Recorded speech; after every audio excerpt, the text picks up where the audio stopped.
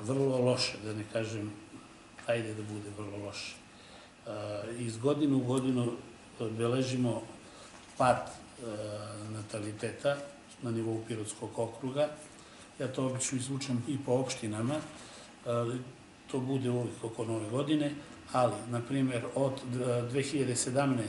gde je bilo 584 živorođenih, polako, polako smo pa- pali do, znači, do kraja 2021.